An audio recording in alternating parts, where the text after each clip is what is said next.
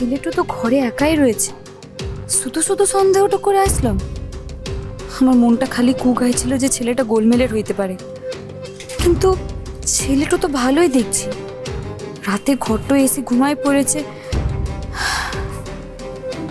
না না, এখানে বেশিক্ষণ থেকে ধরা পড়ে গেলে মুশকিলটা হবে।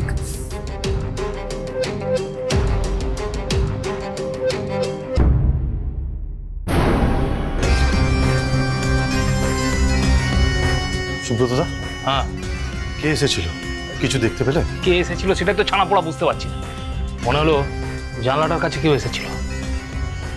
বড় ডর লাগুছি একলব্যকে নিয়ে। ওর যদি একবার সন্দেহ হয় না তাহলে তুই এই রাতগুলিতে কি করছিস সেটা দেখবার জন্য চলে আসতে পারে। ছানা পোড়া যতদিন না বিয়ে হচ্ছে ততদিন এই চাপটা থাকবে। সেই জন্যই তো তোকে শুতে বলে আমি চট করে লুকিয়ে পড়েছিলাম।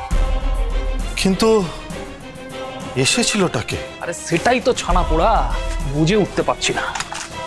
এদিকে বাইরে তো কেউ নেই। শোন একটা কাজ কর তুই এখন শুয়ে পড় ঠিক আছে? কাল মর্নিং এ মর্নিং উঠে পড়তে হবে। একবার বিয়েটা হয়ে যেতে দে। তারপর তোকে আর মোকে। পায়কে!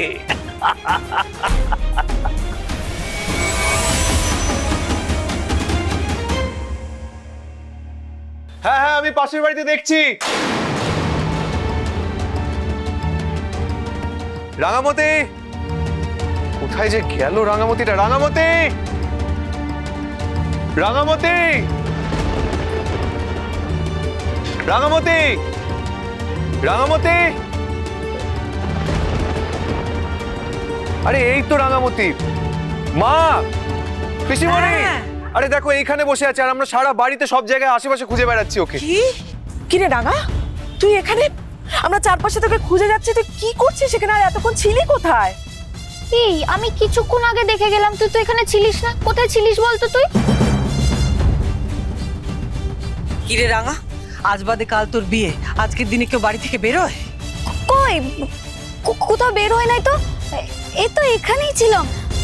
আসলে কাল তো এই বাড়িটা ছেড়ে চলে যাব তাই মনটা কেমন করছিল। তাই এখানটাতেই বসেছিলাম। তুই আহ, সত্যি এখানে ছিলিস নাকি অন্য কোথাও গেছিলিস কোথায় আর যাব বলতো বড়বু দিদি? এখানেই ছিলাম একদম মিথ্যে কথা বলবি না। তুই এখানে ছিলি? এতগুলো লোক এতক্ষণ ধরে চেঁচাচ্ছে আর তুই শুনতে পেলি না? আচ্ছা আচ্ছা ঠিক আছে ঠিক আছে। সবাই মিলে বকাবকি করো না। রাঙামতি তুমি সত্যি করে বলো তো তুমি কোথায় গিয়েছিলে? তুই এখানে ছিলিস না রাঙা সত্যি করে বল কোথায় গেছিলিস তুই? কোথায় আর যাব রে? তোদের হবু জামাইটোকে টুক করে একটু দেখে আসলাম রে টিচার দিদিমণি।